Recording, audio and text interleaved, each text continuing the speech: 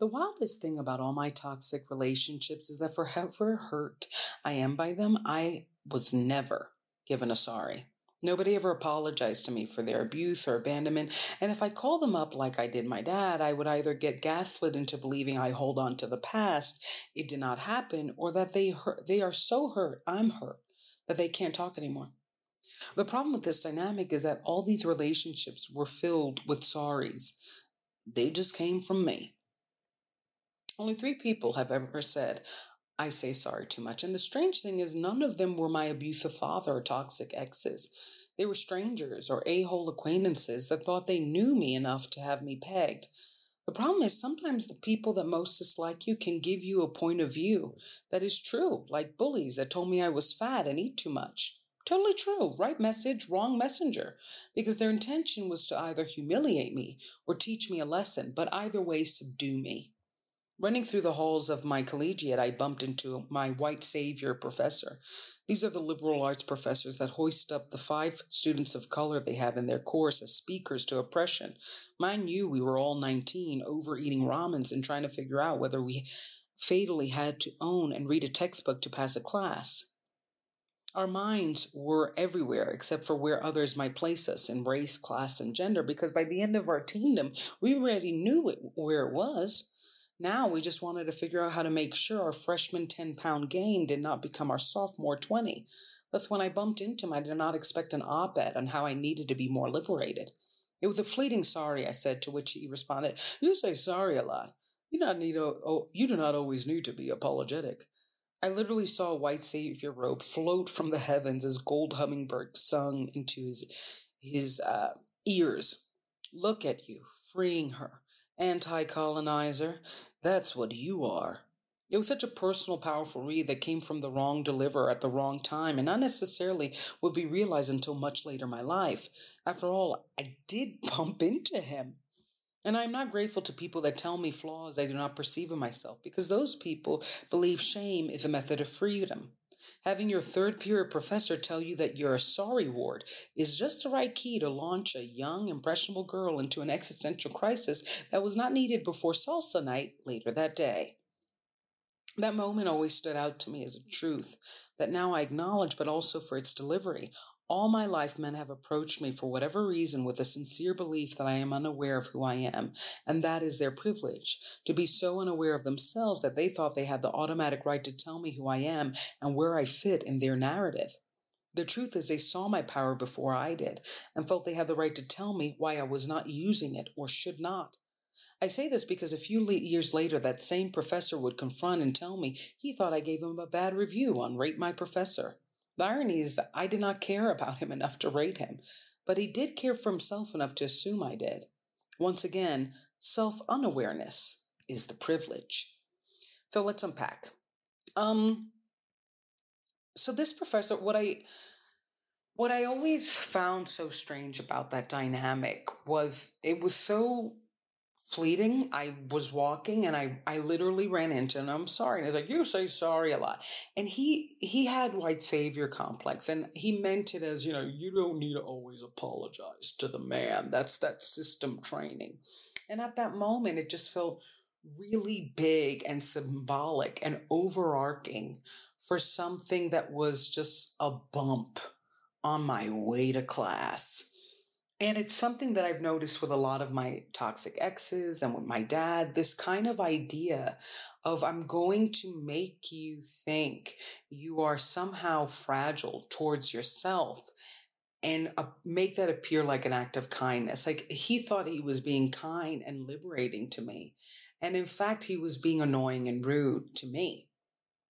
I felt like I don't need to be saved. I don't want to be saved by you, especially by issues that either I don't have or I don't have in the ways you think. Because I, the problem was not that I say sorry too much, is that I live and attract and stay in relationships where I am never apologized to and I give sorries not because of bumping people into the hallway. I give sorries because I I tell these men that they are using my existence to give them life And it's breaking my heart. And if they really loved me, they would realize that, change the dynamic, and start loving me back. Start a equal pair where we build each other. One of the things about this professor that I hated is he loved to, he fed off of negative feelings, very similar to my dad. Just this kind of I remember like this trans girl threw a chair across the room. She was so angry because we were talking about LGBTQ plus um, topics. And this is, of course, liberal arts college. So it's like filthy rich white kids that think they're liberal or just didn't get into Harvard. Um, and he would bring up these topics and try to push buttons and open letters to teach white people, particularly privileged white, rich, privileged white people uh, their power in terms of hurting and angering BIPOC people, LGBTQ plus members. And he would do that by making us hurt, by opening our wounds and making us realize that white privileged people didn't care. And I'm saying that in the dynamic of the room because I think one of the hardest lessons I've had to learn in my life is that goodness, the essence of goodness, is just so intuitively found. And it goes, it truly does go beyond race, religion, um, education, class. Like there's just some genuinely good people. And we're all raised to believe that if we stick to our race, if we stick to our gender, if we stick to this education, this class, we're going to find, we, we'd have more likelihood of finding good people. And I think now more than ever, that's just not true.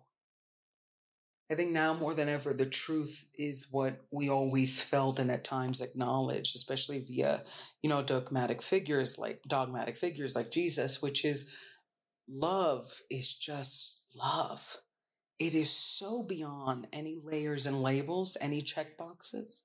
You just know it when you see it. Kind of like how everybody knows Keanu Reeves is a good guy.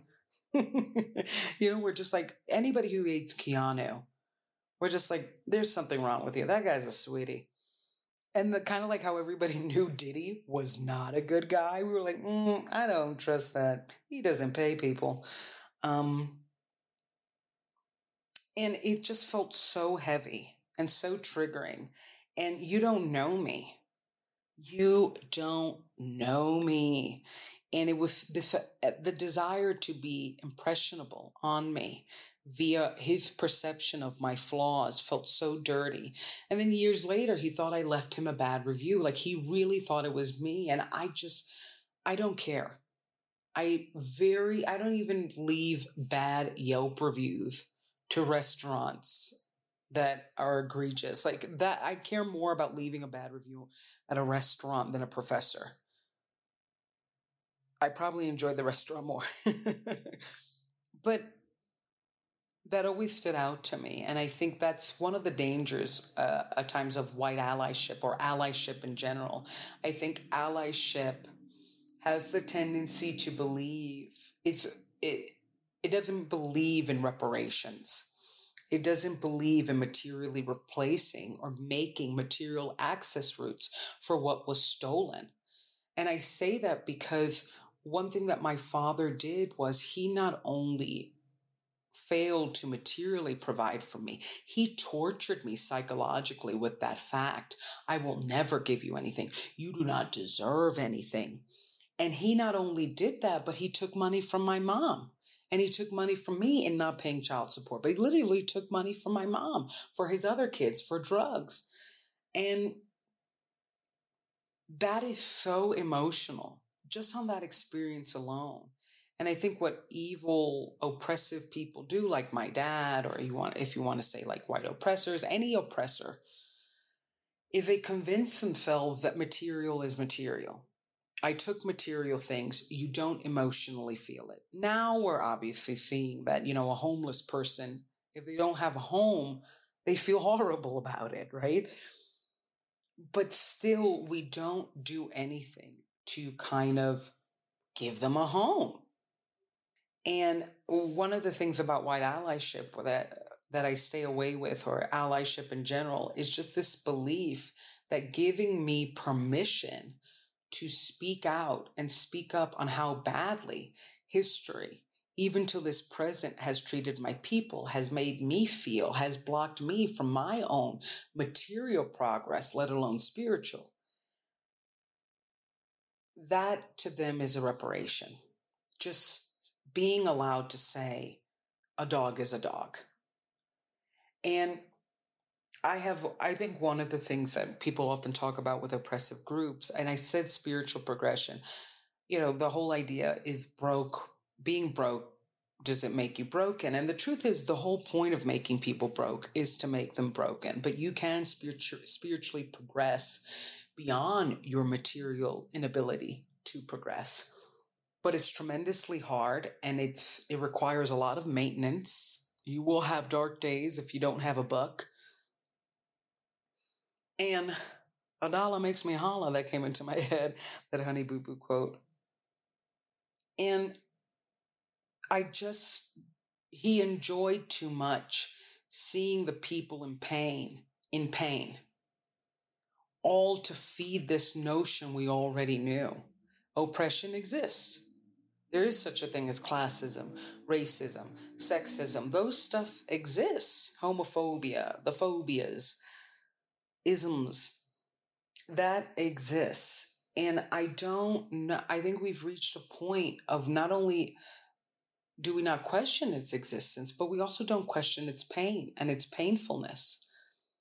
So his enjoyment of it was really to feed his own power.